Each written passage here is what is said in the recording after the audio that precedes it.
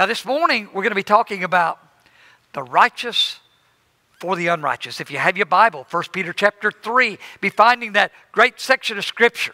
The righteous for the unrighteous. We're going to prepare our hearts and our minds to jump right into 1 Peter chapter 3, but I want to share to you about a, a story about sacrifice with all of you. The story's told about two brothers who were playing, they were young, they were playing in a sandbar by a riverbank years ago. One ran after the other up to a large sand pile that was there, and unfortunately, the mound was not solid. And their weight caused them to sink into the sand there at the edge of the bank with the water flowing and everything like that. It, it, was, it was like quicksand. When the boys didn't return for several hours when they were supposed to have been home, they organized a search for them and, and, and, and they went out searching for them. They found the younger brother, though, later, and, and, and he, he was from here up sticking out of the sand, and he was unconscious. They dug him out to his waist, and he finally gained consciousness. When he woke up, the searchers asked, Where's your brother? He said, I am standing on his shoulders. With the sacrifice of his own life, the older brother lifted the younger to safety. Now, that tangible and sacrificial love of others, a, a brother literally served as a foundation for the younger brother's life. That's how he lived his life. From that point on, he said, I want to live a life worthy of my brother's sacrifice. Well, this story kind of gives us a starting place today, a place from which we can begin to understand what, what true sacrifice looks like. What sacrifice looks like and what it means to stand on the shoulders of our Savior. Again, if you have your Bible, 1 Peter chapter 3, 18 through 22. Here's what he says.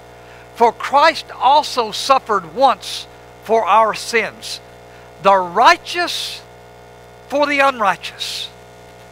Why? To bring you to God. He was put to death in the body, but made alive in the spirit. After being made alive, he went and made proclamation to the imprisoned spirits, to those who were disobedient long ago when God waited patiently in the days of Noah while the ark was being built. In it, only a few people, eight in all, were saved through water. And this water symbolizes baptism, and that, now saves you also. Not the removal of dirt from the body, but the pledge of a clear conscience towards God. It saves you by the resurrection of Jesus Christ, who has gone into heaven and into the right hand, God's right hand, with angels, authorities, and power in submission to Him. This passage highlights many amazing truths about our faith, about Christ, and about our response to His, his sacrifice. 1 Peter 3, again, 18, again says this For Christ also suffered once for sin, the righteous for the unrighteous, to bring us to God. Let's think about that. The sacrifice of Christ. Our passage begins with the recognition of the unparalleled sacrifice that our Lord and Savior Jesus Christ made. The Apostle Paul declared in 1 Peter chapter 3, 18, the English Standard Version, for Christ suffered the righteous for the unrighteous, that he might bring us to God. Here we witness the enormity of Christ's selfless act on the cross, where he took his, uh, himself and he took upon himself the full weight of our sin and death. Second Corinthians talks about he became sin for us, that, that we might obtain his righteousness. We got his righteousness. He got our sin. Here's a witness of that, that sacrifice. The, the Gospel of Mark captures that moment. He tells us in Mark chapter 15, 37 to 39, with a loud cry, Jesus breathed his last. The curtain of the temple was torn into two from top to bottom. And when the centurion who stood there in front of Jesus saw how he died, he said, Surely this man was the Son of God. As the righteous one, he took upon himself the sins of the unrighteous, bridging the gap that sin had created between humanity and God. We had been separated. The Bible talks about that. The Bible says, you know, sin separates us from God. He paid a debt that we could not pay so that we might experience the righteousness of heaven. Again, it says, He was put to death in the body, but made alive in the spirit. So let's look at the, the purpose of Christ's sacrifice. As we continue in our passage, let's focus on the purpose behind Jesus' sacrifice. He was put to death in the body, but made alive in the spirit. And later part of verse 18 reveals the purpose of that stating. He says, He did that that He might bring us to God. That was why He did it. That was the purpose behind it. The ultimate goal of Christ's sacrifice was not merely to absolve us of sin, but also not only to, to remove those sins and take them away, but to bring us to God. Bring us back. You see, sin separated us.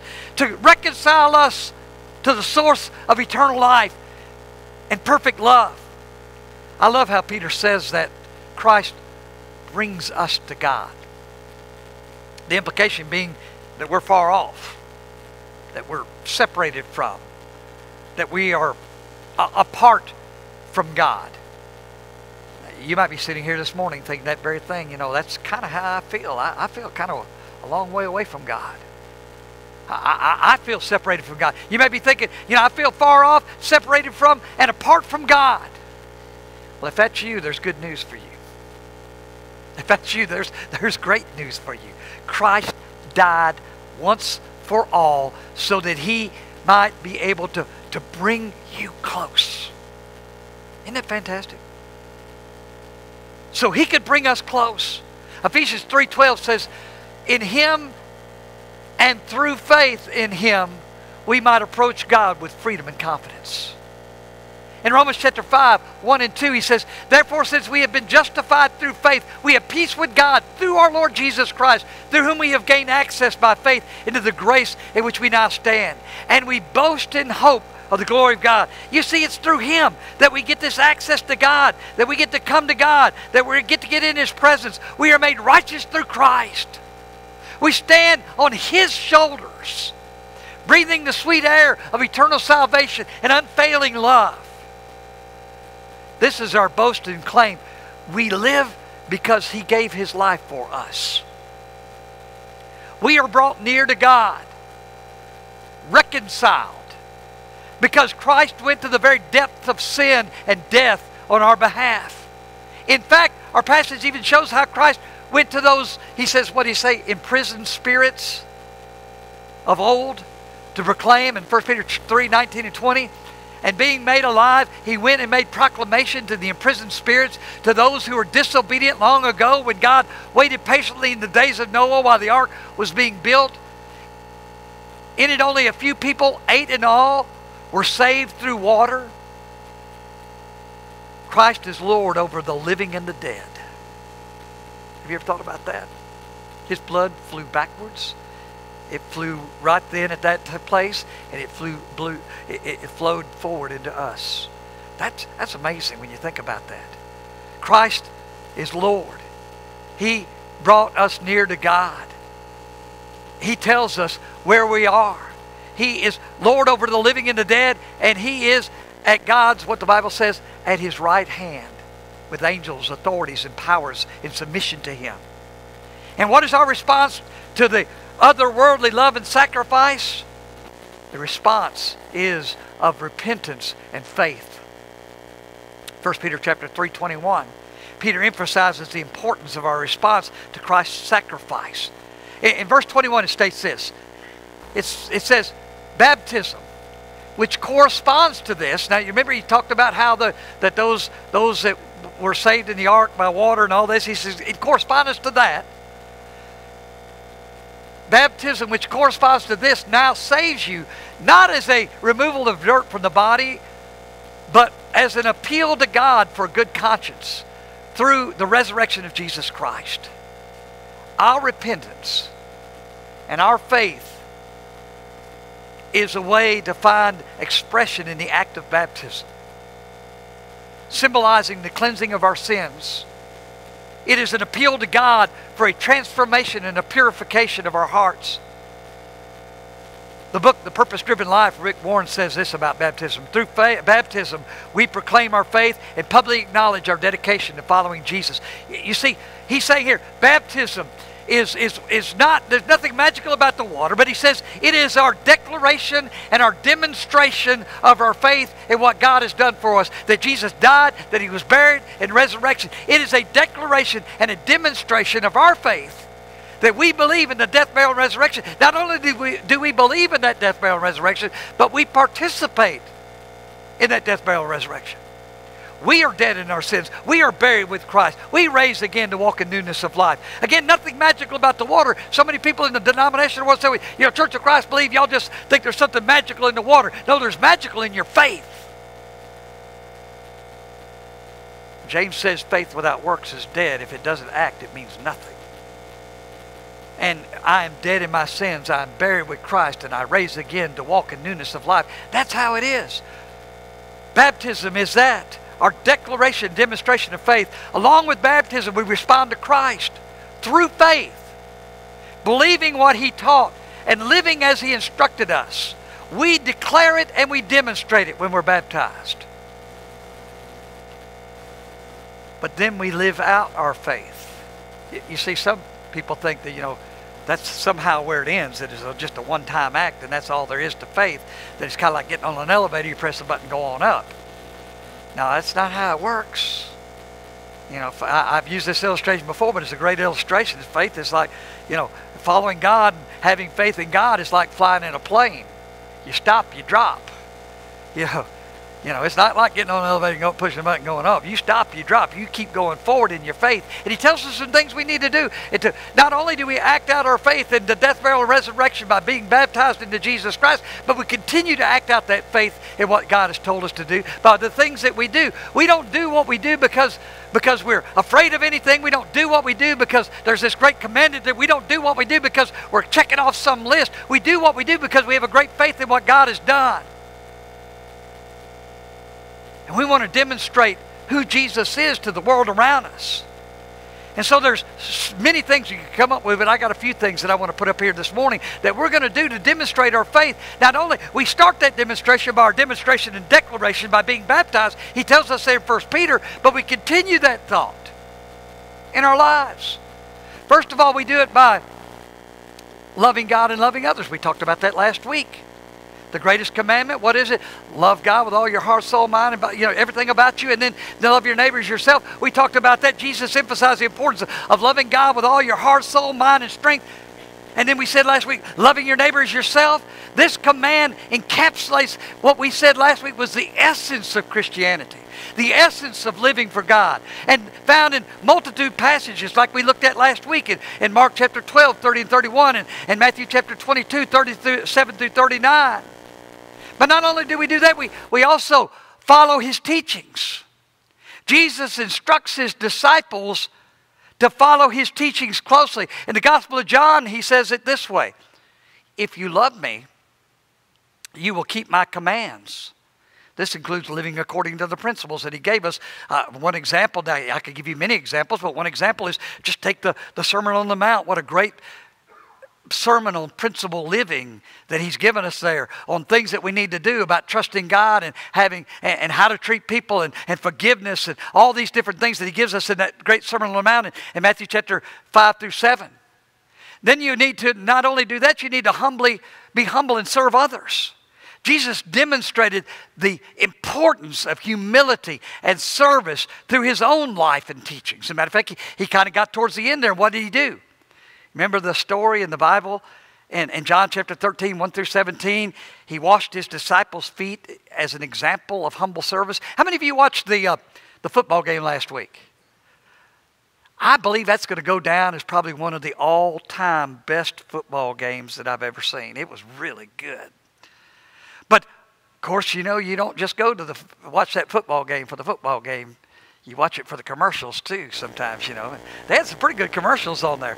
But there was one that really caught my attention. It's, it's actually, I, I, I, there's kind of been a thing on Facebook blowing up about that commercial about this thing. And, and, and, and it, was, it was, I thought it was great.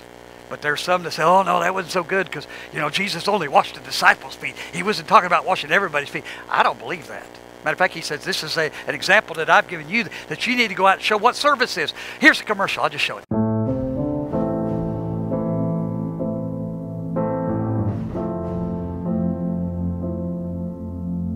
Ask me what you know is true. Don't have to tell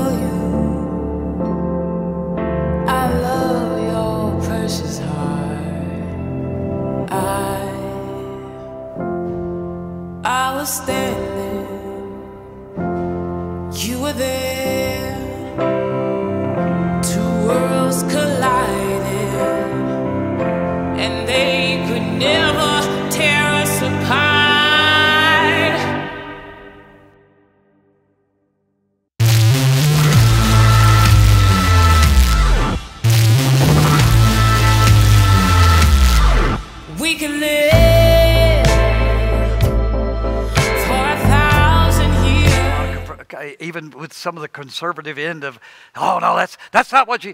Yes, he did. And yes, we should.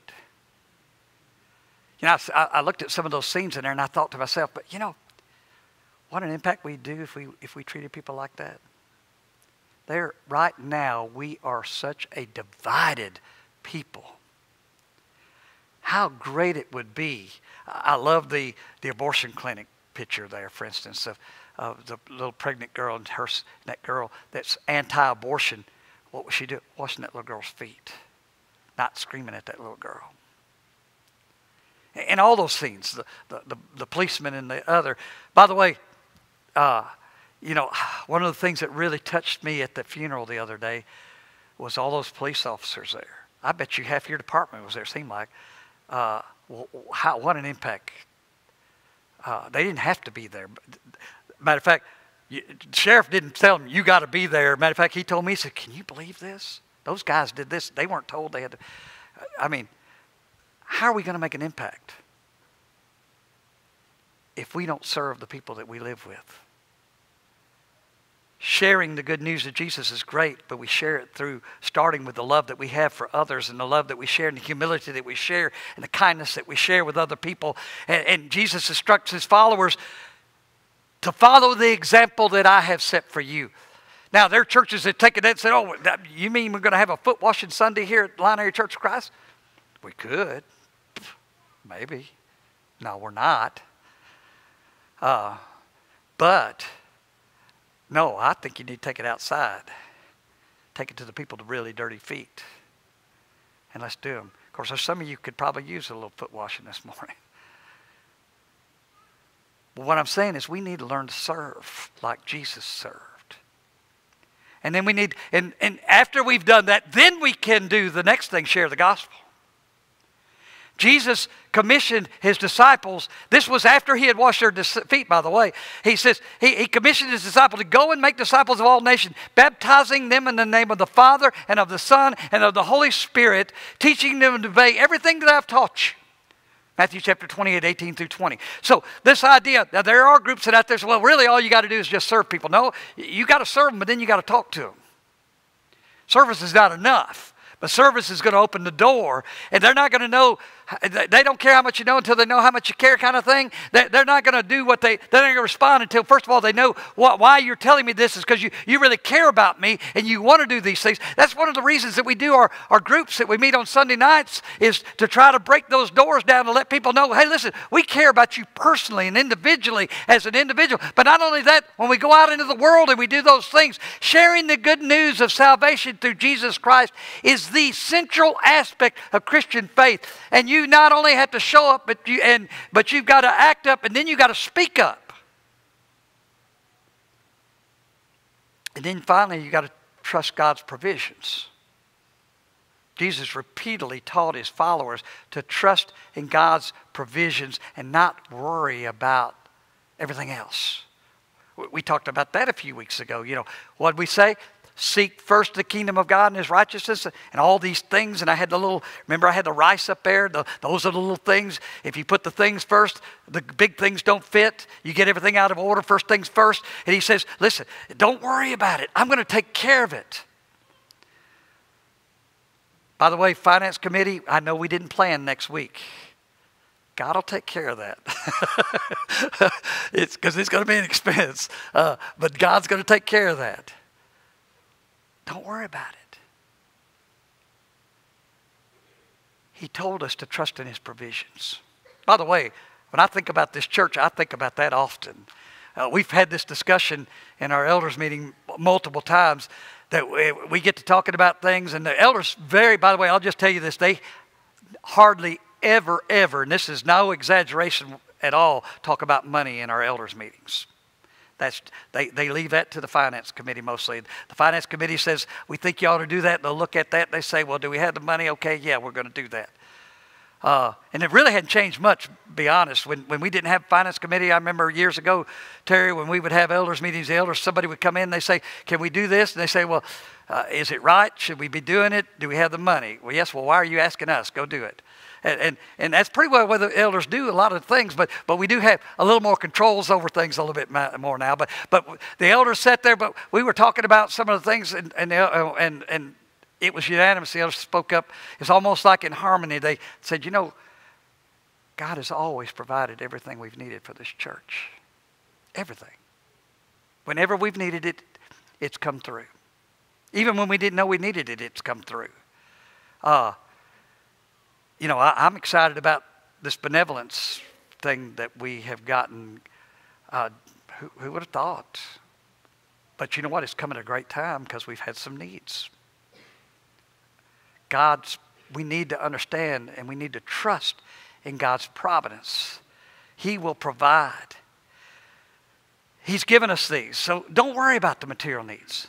In the Sermon on the Mount, he instructs them to seek first the kingdom of God and his righteousness. What? Again, all these things, these little things you worried about, I'll take care of it. These instructions, along with a lot of others, I'm just giving you a few, build a framework of how we're called to live out our faith in response to the teachings of Jesus' examples. He gave his life, the righteous for the unrighteous. That's what he did. That's, that's how he, he, he told us that we're supposed to go. He gave his life, the righteous for the unrighteous, so that we might experience abundant life, so that he could, what did he say? Bring us to God. He is the final word in the world filled with incessant talking and boasting and bragging about their own greatness. Peter was a devout follower of and an eyewitness of the humanity and the majesty of Jesus. And I trust that his perspective on the understanding of Jesus is an important one. And, but not only an important one, I believe it's a correct one. If you feel far away from God today, it is Jesus who brings you close. If you feel like your life is closing in around you, suffocating you, remember to stand on the shoulders of Christ. Live a life of repentance and faith as you follow in the footsteps of Jesus. As Peter says in chapter 4, above all, love each other deeply. Because love covers over a multitude of sins. Offer hospitality to one or hospitality to one another without grumbling. Ooh, that's a hard one. Sometimes we like to do things, but we like to do, you know, we're, we're more, you know, uh, we, we, we'll do it, but we'll grumble about it. But he says, do it without grumbling. Each of you should use whatever gift you have received to serve others as faithful servants of God's grace in various forms. Man, what kind of church will we have if that happened?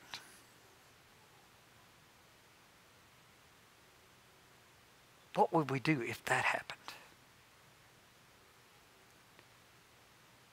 If we, if we loved each other when we fail, he says it covers a multitude of sins.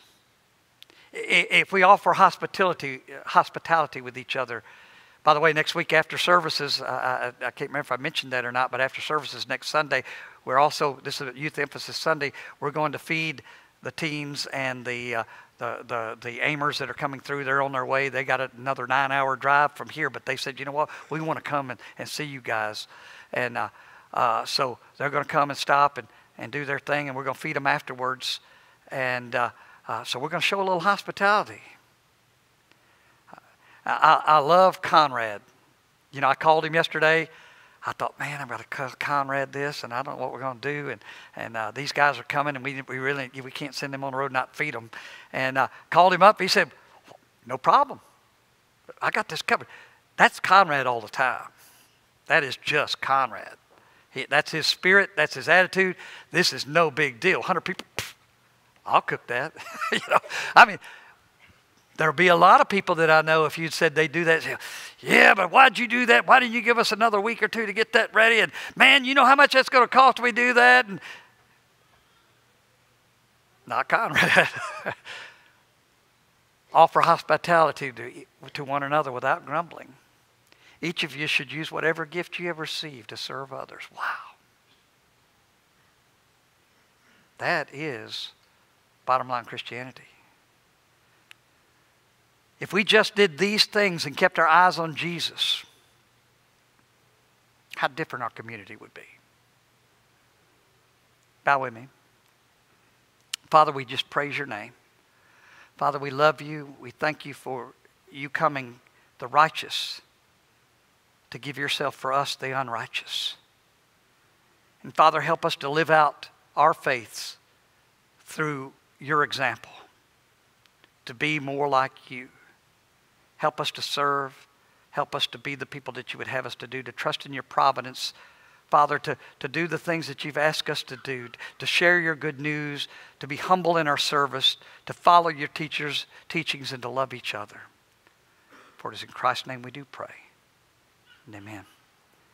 You may be here this morning. I mentioned again in that same section of scriptures, he mentions the idea that baptism is important in that it is the first step towards your life uh, uh, uh of obedience to God. It shows your, it's a declaration and demonstration of your faith in Jesus by de- declaring and demonstrating, I am dead, I'm buried, I'm raised again. Jesus died, he was buried, he rose again. That is the gospel, the good news. You could participate in that this morning. The baptismal uh, pool is ready. We're ready for you.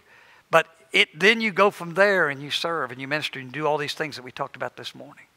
But if we could help you do that, I want to encourage you as we stand and we offer the invitation.